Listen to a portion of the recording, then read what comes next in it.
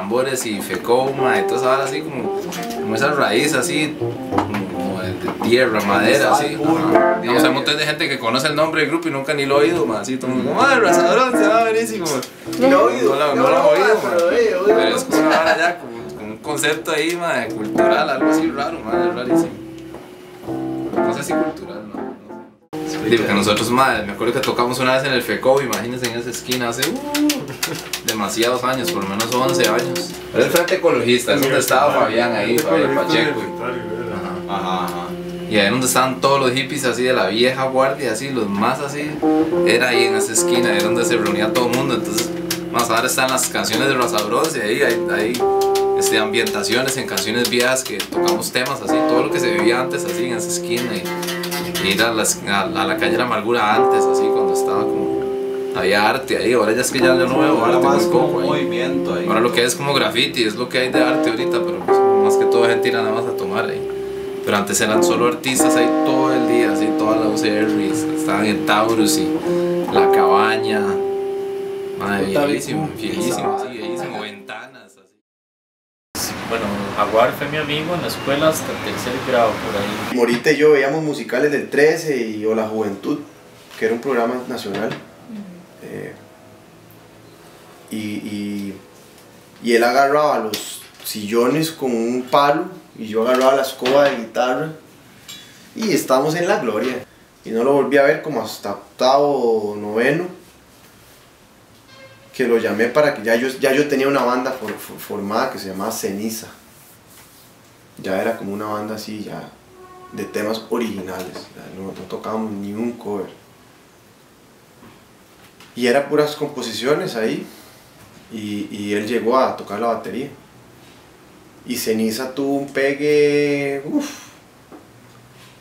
Le llegamos a abrir al parque, así en sus conciertos éramos de los teloneros, a Gandhi. Y Jaguar y Pedro son como los que desde el inicio. Pero.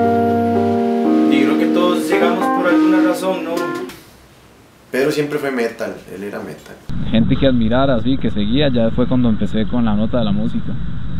Así que yo me acuerde directamente que oía todos esos grupillos así, heavy metal de antes, así, entonces como que no era alguien específico, pero si era como esa nota o esa vibra, como no sé, andar el pelo largo y esa vara, los pantalones rotos y eso era como, man, desde eso sí me acuerdo desde carajillo, así siempre. Y tenía un grupo que se especializaba en tocar todos los covers de México.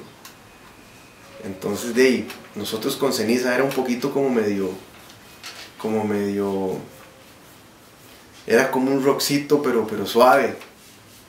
Era como un rockcito como más, más trovesco. Y más de una vez el bajista no pudo y el que se llamó era ahí era Pedro. Y Pedro, hay un concierto y el bajista no puede. Y yo me mando. Y ayer en las primeras reuniones de Morita, Pedro y yo, montando ceniza porque venía un concierto y había que montar las piezas. Y tal vez cuando montábamos todas las piezas,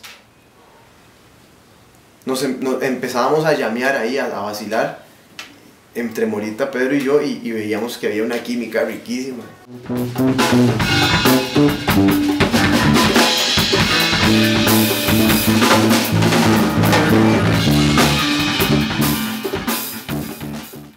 Uno de los cantantes que tuvo ceniza, Pablo París, por cierto, chilenos así radicados en Costa Rica, traía este texto que se llamaba Raza de Bronce y él propuso, pongámosle raza de bronce a ceniza. Pongámosle raza de bronce, raza de bronce. Y otro más dice, "Mae, mejor raza bronce, nada más. Sí, sí, raza bronce está bonito, está bonito, está bonito. Ese cantante duró dos, dos conciertos nada más. Era ceniza abriéndole a Ragabay Roots en, el- en un colegio. Y, y París no cantaba muy bien y lo que hacía era pegar gritos. Y bueno, eso parecía Doors eh, borrachos, una cosa así. La identidad era muy este apoyo hacia los indígenas. Ese fue el aporte que le dio París, ponerle el nombre. Morita era puro Led Zeppelin, Creedence, Beatles. Pedro era puro Maiden y yo era puro Pearl Jam. Pero nos unía el funky. Nos unía el funky. Era, era, era así. Era funky, funky, nos volvía loco, funky, funky, funky. Y recuerdo que.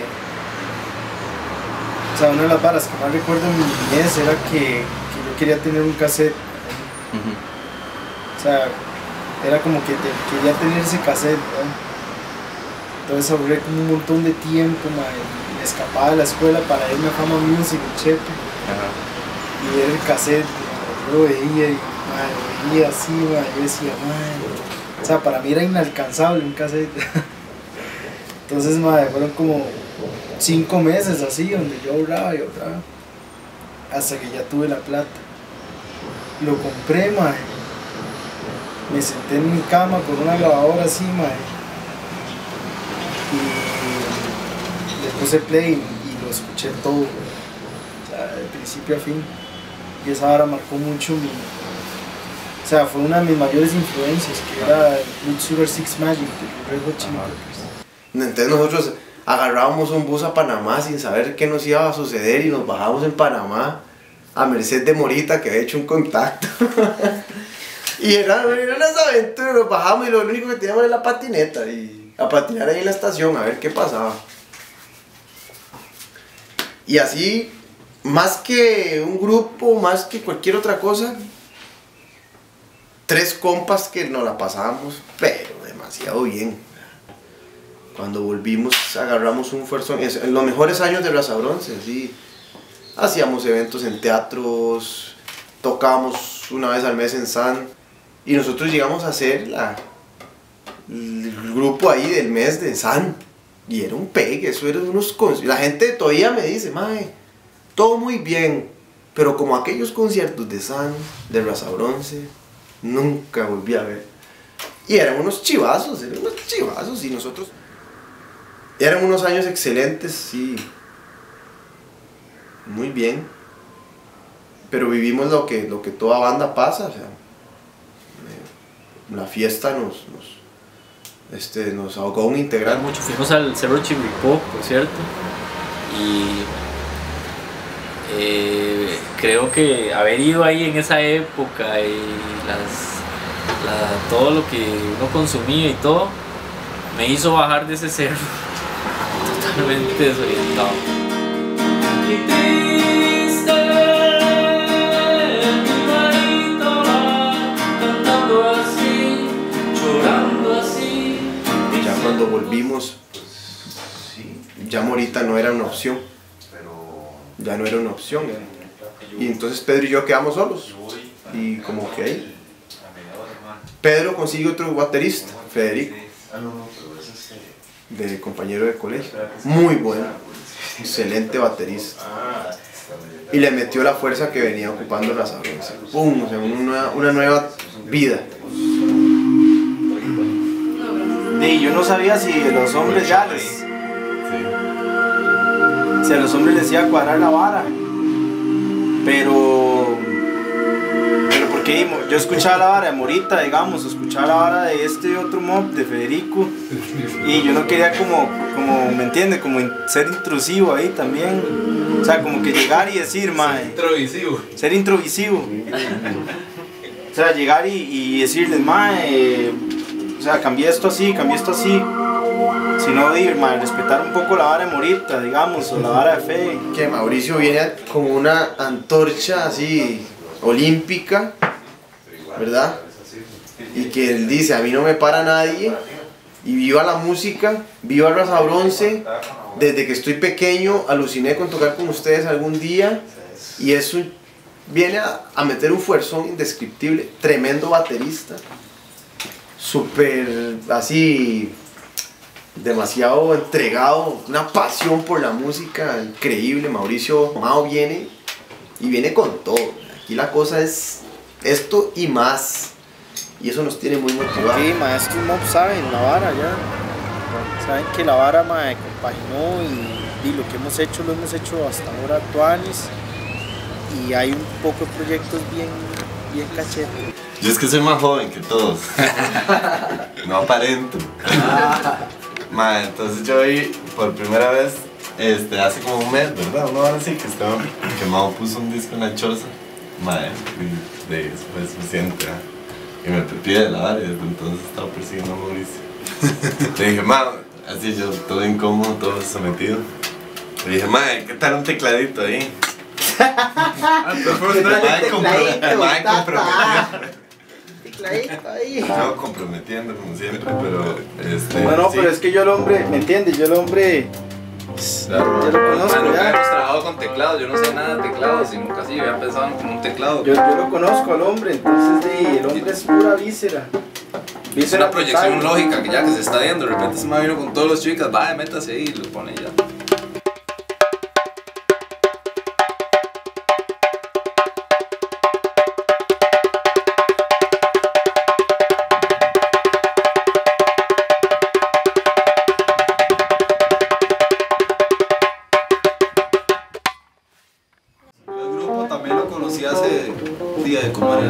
2000, antes, 98, que estos más empezaron. Y a mí me gustaba mucho lo que ellos hacían, así como más, como el estilo de Morita y la loquera, así, puro. Y ya los años, o sea, yo los vi por años y hasta hace 4 o 3 años ya los conocemos como Pedro y Jaguar y yo. Y Pedro fue el que me, que me que embarcó a estos más para que yo viniera. y no, yo me siento bien. Ma, es igual, así es como un compita. Es como- ma, o sea, primero somos compas y después el man toca, bate- toca tambores, así. Sí, Puta, estoy haciendo eso y lo estoy disfrutando y estoy compartiendo con estos compas, así como hacerlo como debería ser la música, ¿no? Compartir y, y con sentimiento ya. Con cojones. Ellos tienen la víscera. Yo no quiero sonar clasista porque no lo soy, pero simplemente tengo el derecho de elegir con quién tocar ya. Y entre todo el montón de falsedad que existe, mae, que, que se puede evidenciar, mae, mae, yo siempre trato de, de tocar con, es- con esa vara que, que yo puedo sentir que es visceral. ¿ya? El jaguar, mae, tiene mucha víscera, el hombre, mae, ahora que hace el pan, y me decía, mae, yo estoy haciendo el pan, una tapa fuerte, pero yo lo hago con dignidad. La música es, o sea, si uno lo ve como, como algo para hacer dinero y fama, no sé cuánto logrará durar la persona. Yo tengo muy claro que, que no, no, es mi, no es mi finalidad, ¿verdad? Como hacer dinero y, y fama. Esos más están solos, mae. Y el Pedrillo, mae, ¿me entiende? También, mae. Y, y Morita, mae. y- Mae, yo siento las vísceras ahí, mae, el shock, mae. Entonces, mae, yo soy víscera, mae. Y esa vara nadie me la puede quitar. Entonces sí, como tener más o menos la misma visión. Porque digamos, es loco porque todos tenemos diferentes influencias musicales y también tenemos cosas en común. Pero, ¿cómo se llama? Este, la visión que tenga uno en común, no sé, de la música, de querer comunicar cosas también, de que ser un toque ahí, como tener un toque esa mala crianza ahí musical que tiene la sabrosa. Un músico puede, puede introducir una idea en un grupo de personas, ¿no? Tiene esa fuerza de, de- de- de- de tirar una interrogante. Hey, ¿qué tal si vemos la vida de esta manera? La vibra de Rosa Bronce es una vara muy sincera, muy cristalina, como el agua. Entonces, aunque, aunque yo. Y la birra.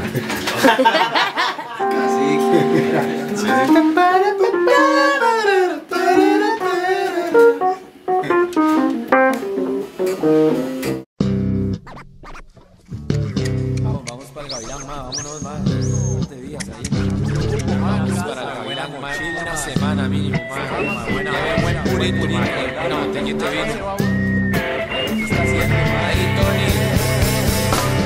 Este rap sabroso mi hermanito Bajando la montaña, directo a la ciudad. Deja lo que estás haciendo porque estás envejeciendo. Me importa un carajo si todos te quedan viendo. Traigo un mensaje, una frase, una idea. Un proyecto que es perfecto para lo que está pasando. Esta jungla de concreto sí que nos está matando. Un mensaje positivo, pensamiento combativo. Mi alma, el corazón, esto es lo que están robando. El equipo raza se mora, rato jaguaroso, trae el ritmo de la tierra, no la guerra, todopoderoso. Vida. Escucha lo que te digo, gran amigo de la tierra, traigo el fuego, viento, el agua. Todos se a la carga, el sistema que lo quema. Hasta el sueño y la memoria, vamos todos a escapar.